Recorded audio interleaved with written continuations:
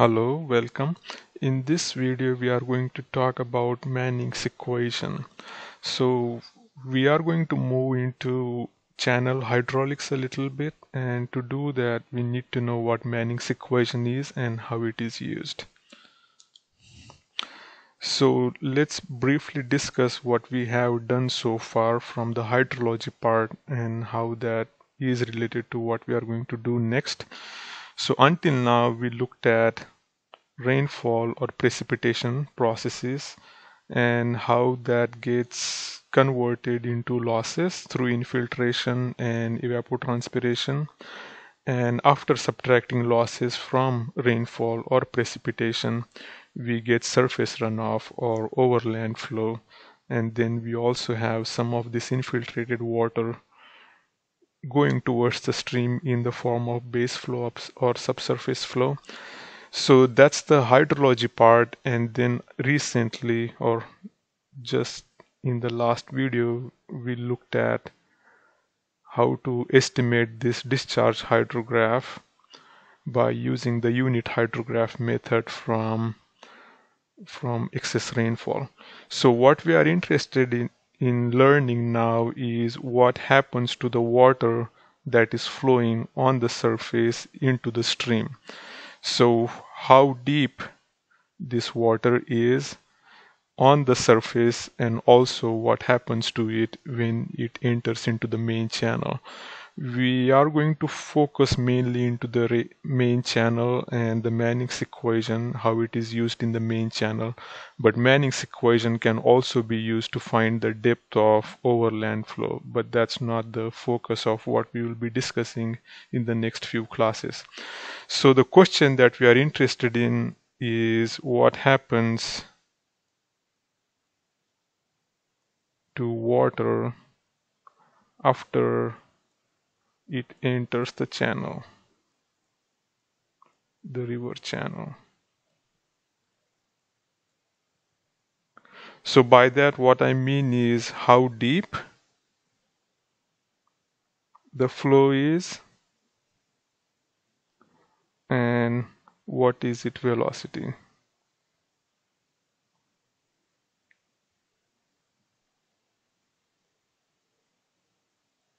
okay.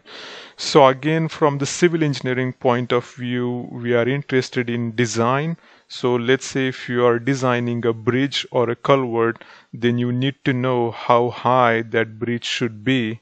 And to do that you need to know for your design flow how deep this water is going to be and how fast it is going to move. So you can design this bridge. So I'm just drawing the bridge piers here and that's your road deck. Okay. So again from the hydraulic design point of view we need to know how much water will be moving through that channel for a design discharge. So in most hydraulic design if this is our hydrograph we take this Q peak and we see what impact this Q peak will have on the hydraulics uh, of this river channel. So to do that one of the equations that we use is Manning's equation and that's what we are going to see today. So before we get into Manning's equation, I'm showing you few things here. So let me just divide this slide into two parts. On the left hand side here, what I'm showing you here is watershed. So this is our boundary and then the water is flowing from the surface into the channel that you see here in the middle. So what I'm going to do here is I'm just going to zoom in to this part of the river. And on the right hand side what you see is the plan view of that river. Then what I have done here is let's say we have a discharge Q flowing through that channel. And I'm just showing you the flow direction here. And then I have taken two cross sections of that plan view. So the first section that I have taken is A, A which is across the flow and we usually call that as a river cross section or a stream cross section. So this is our cross section AA and there are two properties here. So one is the hydraulic depth y and then the top width of the flow and then we can also think of the profile view which I'm showing you here. So profile view is this section BB that I have taken here on the on the plan view. So in the profile view I am again showing you the channel depth Y. I am also showing you the velocity. So that's the the one of the properties that we are interested in. So we are interested in finding y which is how deep the water is. We are also interested in finding velocity to know how fast that water is moving. So we have plan view we have cross sectional view and we have profile view. So when we are going to discuss um, Manning's equation and eventually when we do HEC-RAS modeling uh, these terms will come handy when we look at cross section and profile. Another thing that I'm showing you on this slide is also the slope. So that's the triangle here. So I'm showing you the bed slope. So the bed slope is basically dy by dx. So the vertical height divided by the horizontal distance. Okay, so that's the channel bed slope. So yes. So let's move to the next slide. So one of the properties that we use in hydraulic design and especially in Manning's equation is this hydraulic radius. And some of you who have taken open channel class or hydraulics you may have come across this term. So what I'm showing you again I will just divide this into two parts on the left hand side I'm showing you a prismatic or a rectangular channel. So y is again the water depth. And on the right hand side I'm showing you what most of the times will be a natural shape of a river channel. And in this so this is the y I'm saying. And then I'm also showing you P which is the weighted perimeter okay? So weighted perimeter again it's the perimeter but we are focusing on how how deep the water is here and then you calculate the perimeter taking into account how deep the water is. So in the prismatic channel so this is our weighted perimeter. I'm just redrawing it again in red. And in the natural cross-sectional shape here so this is our weighted perimeter. Okay?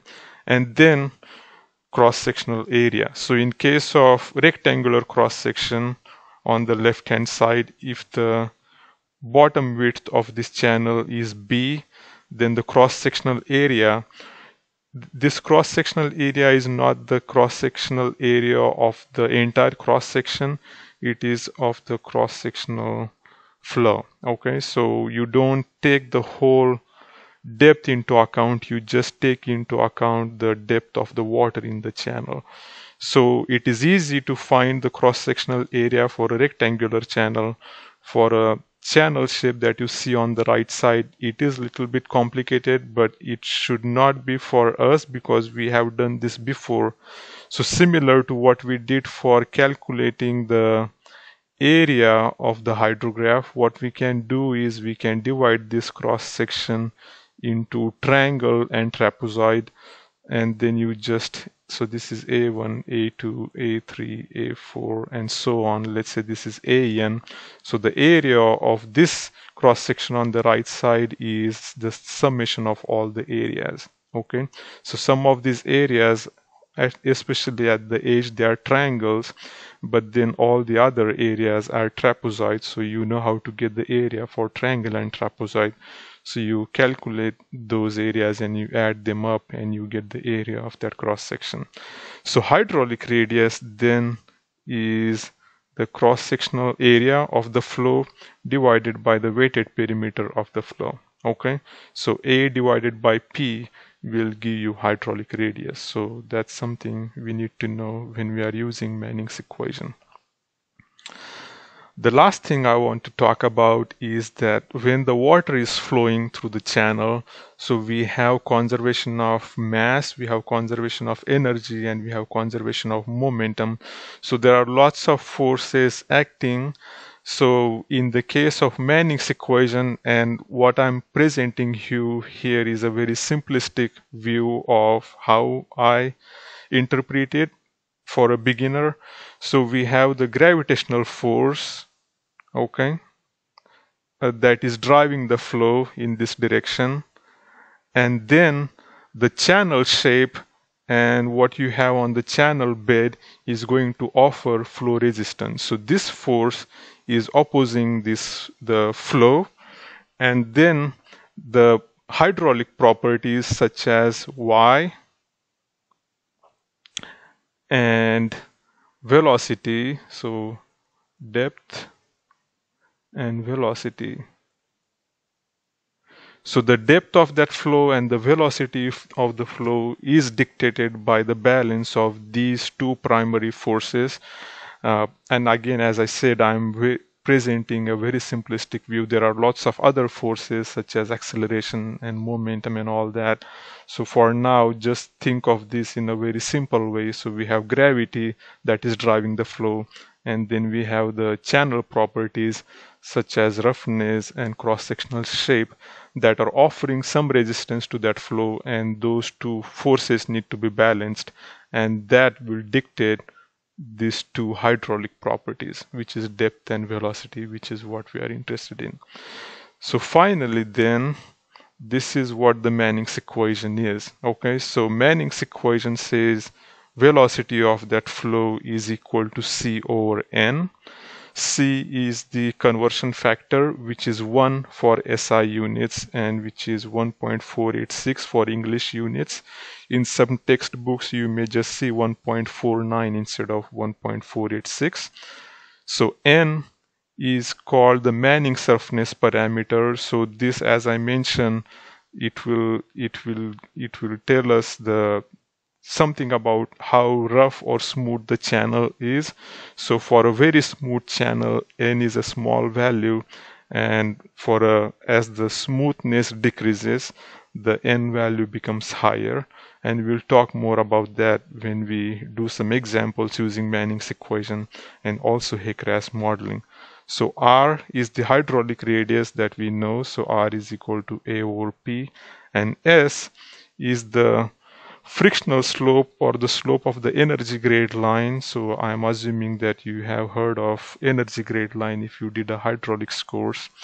And when we assume a uniform flow, this S can also be the slope of the channel bed that I showed you previously. So if this is the bed of the channel, so the slope dy over dx will be this S. So this expression gives us an um, velocity and this equation is called Manning's equation. And in the previous slide I spoke about two forces. One is the gravitational force. So that's the slope. So this slope that you see in this equation that is the energy gradient driving the flow. And then we have R and N.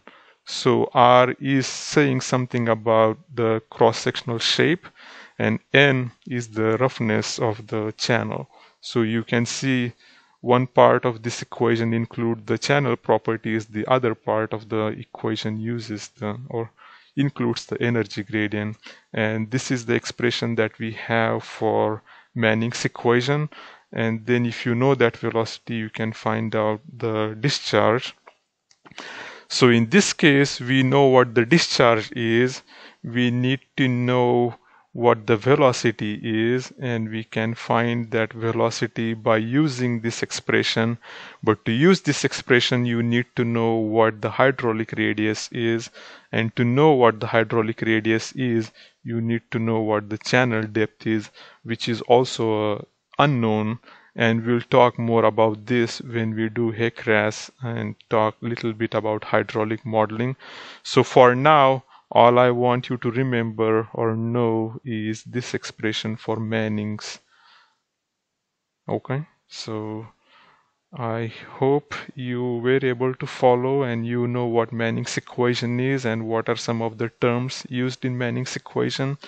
Next we will do a small assignment on how to get the area get the R hydraulic radius and how to get the channel roughness value and then we will move on to HEC-RAS hydraulic modeling. So with that, I will stop here and if you have any questions, feel free to email me. Thank you and bye.